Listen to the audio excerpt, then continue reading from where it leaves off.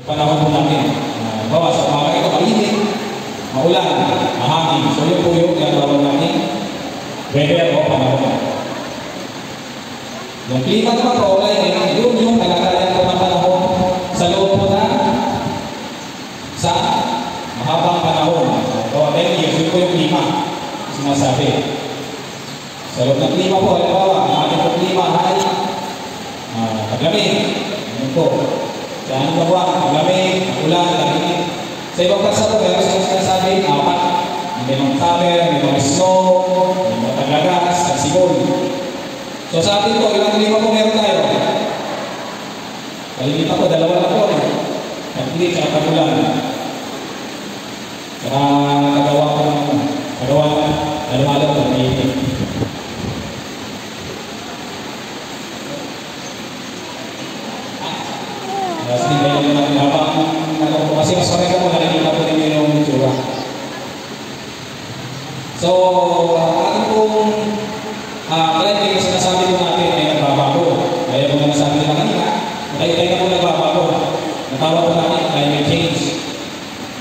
So, ano po ba ang natawag natin climate change?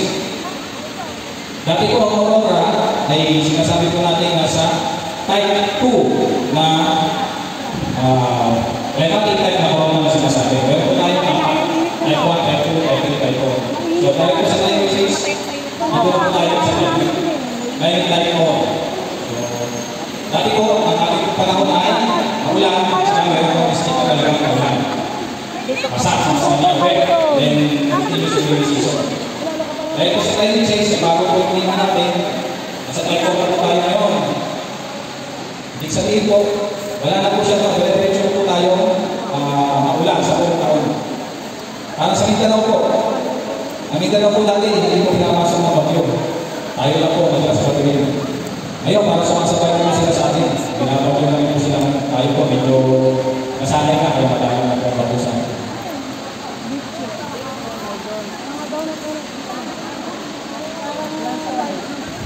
Ayun. So, kaya na nagalawa na ko kanina, longer po siya sa yung climate ko.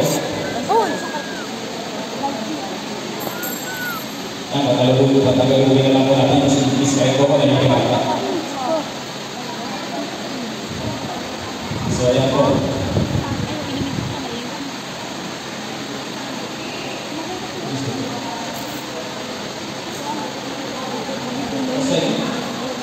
Ayun pa. Inumin na. Yan, so, meron po tayo natawag natin yung Makulay din yan. impact po ng climate change. So, para malaman po natin muna, ang climate change po, sinasabi natin, long-term shift ng temperature. So, So, ang pinakamakikita po natin mga drivers, so yung sanhi po ay ang natawag po natin. Sa natural po, makikita natin yun po, pagputok ng bunga, at saka, ano po yan? Pag ano po ng ikot ng araw, kaya umiikot po yung panahon natin. Pero kadalasan po yung nakikita natin ay gawa po ng tao. So, yun po. Tayo po ang may gawa, kaya nagkakaroon po tayo ng climate change. Tulad po sa mga ginagawa natin ng activity o trabaho po namin, masusunod po ng mga fuel, uh, fossil fuel, yung mga gasolina, yung mga refinery po natin, lusok po, at saka po yung tao mismo. Paano po tayo nakakapulit sa sarili po natin? Yung mismo hininga po natin, makakapulit po yan sa carbon po yan. Kaya kung marami ng tao, ang wala pala, so hininga po ng tao, masusubugay po tayo, hihingi po. Sino po nag-absorb na natin ang hininga? Yung hangin ay binubuga po natin, sino nag-absorb? Ang halaman. Alaman. So, maswerte po tayo, marami po tayo. Over sa totoo, kaya medyo nakukontrol po natin. Ang tawag po doon, yung atom, nakulong po siya sa makalabas. So, naiikot siya. Ang tawag po natin doon ay greenhouse effect. So, nalulubog po tayo, nakukulong po yung parang sa sa kwarto, wala pong labas, na po tayo kanina, nakiikot po siya. Yan po yung gas na slide please. So yun po yung dahilan po ba, isa sa talaga natin para kanina, kapag natin yung mga ginagawa natin. Kung po sa lulo, sinusunod po namin dapat nila, nakakapag-contribute po yun sa matawag po uh, global warming. So ano po yung mga nagiging uh, epekto po niya? Kaya po, uh, ito po yung kaya po, Um, sinasabi na natin na hindi ng cause po ng climate change, global warming ako, yung taas ko lang. Temperatura. Nagtatawag po, gawa po ng greenhouse effect na sinasabi. Next slide please. Yan po, sinasabi natin kanina, na i-create ng greenhouse gas. Yan po yung kasunod natin na mga user fuel, yung uh, sasakyan, sunog ng kahoy, sunog ng damo, so magalabas ko lang ng carbon.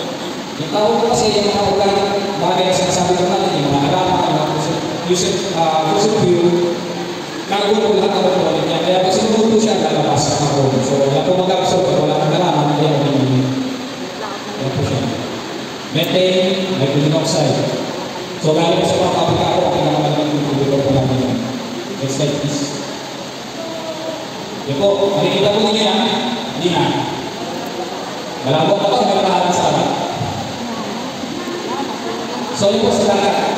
So, pag nasisira po yung ating mga coral, saka yung mga, ano pa lang sa kalagatan, yung mga halaman po natin. So, ang dagat po natin, tinatawag po natin sink. Nag-absorb po siya ng carbon dioxide. So, pag nawala po siya, wala na po mag-absorb sa carbon, carbon na, nangyari po global warming.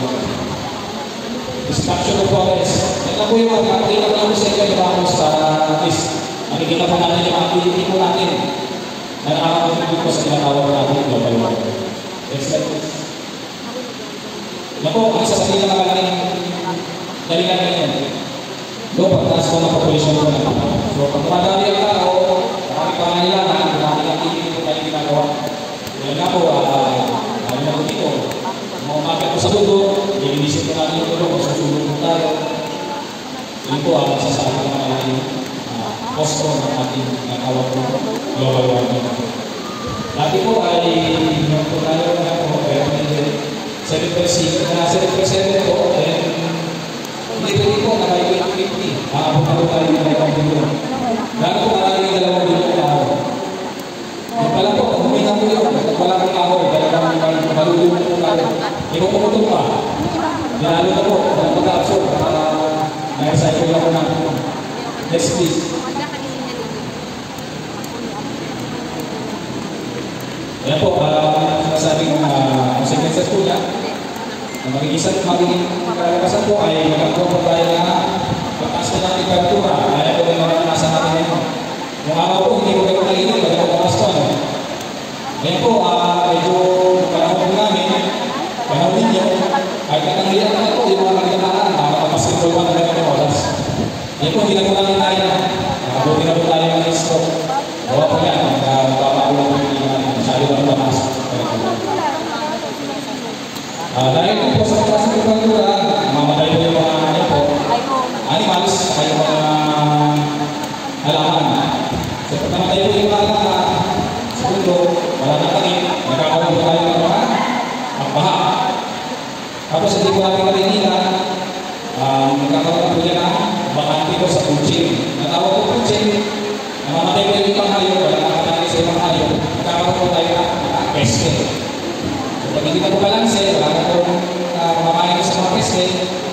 nakakaroon po tayo ng uh, nasabi hindi po natin na i-produce, dapat po natin i-produce sa produkto. Nakakaroon po tayo ng araw.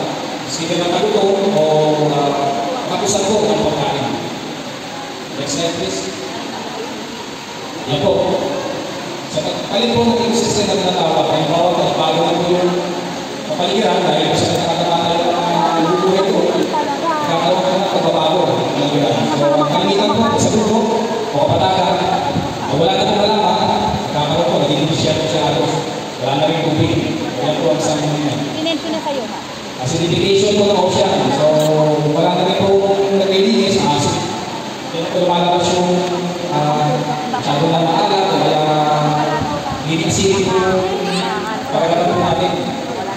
Bisa po, nagiging cause po yan, yung sinasabi na natin po, nagkakaroon po tayo ng case na Lucio at saka yung reptile po ang natawag ko. Next. Yan po.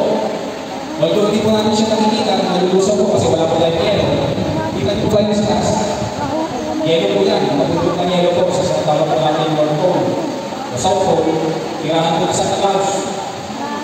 Kung kilala niyo sa Claus. So, may yelo po. Dahil po umiinit ang panahon, Claus talaga. nalulusaw po yan. Hindi naman penguin. Nalulusaw po siya, saan po kaya yung nalulusaw ng na yelo? Santa Claus pa talaga. Sa dagat po. Malabas sa dagat, malalabas ang tataas po ngayon ang tubig ng dagat. Kaya mayroon po sa ating mga lugar na medyo mapapapa, hindi na po natin napapansin, tumataas po yung tubig sa dagat. Nakakain na po yung ating mga kailangan. Dito po sa Tigaran, hindi niyo po napapansin. Wala po. So wala pa. Swerte po tayo. Kasi sa ibang lugar po, nagtataka sila. Yung playa, may dito. Paano ba natin nagawa? Kasi dati po yung isa ko ng tubig. Sa katagalan, nataas na ng tubig, inapo na po siya. Kaya nagkaroon na po ng tubig yung mga dating lote na. Yun po yung level na kaya sabi nga lang, may lote na. Hindi kami yung mga nahali na sa uh, parte ng tubig. Yan pa po, isang uh, extreme weather event. So, nagpapagal po yung panahon, lumalakas na rin po yun. Kaya po, malakas na natin, lumalakas na yung mga pagyo. Pati po, pagyo, yung signal po tayo sa pagyo. Signal ng pagyo po natin. Mga bata pa po kayo, signal ng pagyo. Ngayon po, meron po tayo signal ng pagyo. Ay, dapat natin po na alam eh. Kasi, Sa Hong Kong natin eh. Next slide. Yan po, yung pinagagawa natin na kanina, na pag nagbago po yung ating kapaligiran, wala po yung mga pagkain, wala po yung mga kain sa mga kailangan at saka sa mga hayop, nawawala po sila ng tuluyan. Yung sinasabi ng extinction. Yung tao po, alam mo yung extinction kasi ayaw po pumapatay. Yung mga halaman po at saka yung mga hayop na sinasabi ko natin yung bilo, sila po yung malapit na extinction, nawawala na po yung pagkain, nawawala na yung kailangan. Kaya lang po pa kayo ng mga sinasabi natin Istika o hindi yun? Ano po halimbawa? Wala po dito sa Sigalan, wala po na exit. O tao lang po na exit. So baka may sinabi school dyan na pinipiligil po, kasama po yan. Naintigil na po sila, minsan po, hindi ka pa tayo sa taas. Gawa po yan, wala po sila magkakahan. Nagbabago po yung mga namin, kaya ano yung hindi Yun po, pag wala na po tayo ng nanay, wala na pong mainom, wala na po tayo makuha ng sources o ano bang pwede ka pa kayo sa lugar natin, nagkakaroon na po tayo ng hydration. Hindi pa po tayo sa ibang lugar kung saan po tayo yung makuha.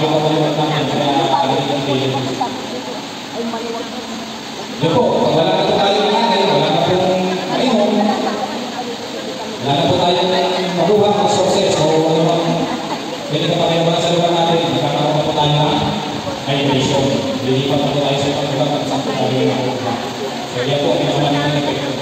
So pag hindi pa po tayo sa isang lugar na meron po uh, natural resources o uh, may makukuha pa, may mga po nakatira doon, magkakaroon po tayo ng Skip na naman kung ano tayo masisimulan. Gagawin na naman natin para napakasubay. Uulitin na naman natin. Ginawa namin sa kanila na mauubos ko natin. Pagiging cycle na po siya.